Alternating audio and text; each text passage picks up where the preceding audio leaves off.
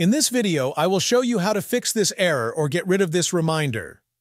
First, open your Photoshop.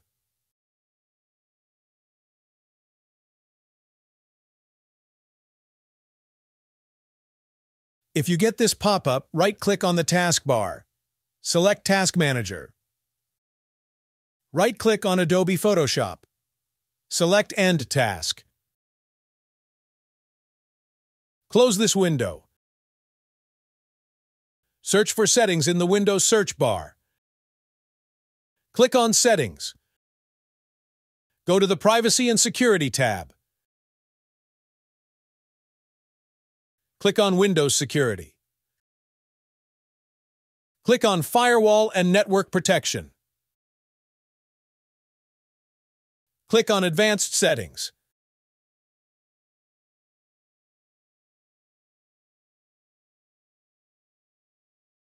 Click on Inbound Rules.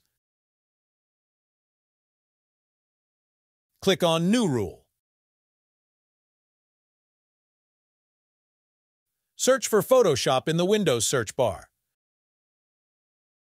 Right-click on Adobe Photoshop. Select Open File Location. Right-click on it again. Select Open File Location. Right-click on it once again. Select Copy as Path. Now head over to your previous window Paste the path here. After pasting, make sure to delete the quotation marks. Then click on Next. Select Block the connection. Click on Next.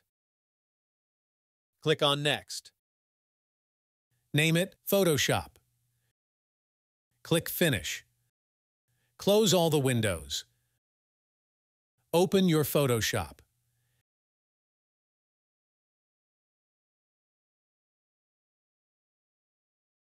As you can see, there is no reminder anymore. Feel free to reach out if you encounter any issues during the process. If this video helps you out, please leave a like and subscribe. Comment below if you have any questions. If you need further assistance, consider hiring a professional using the link in this video below.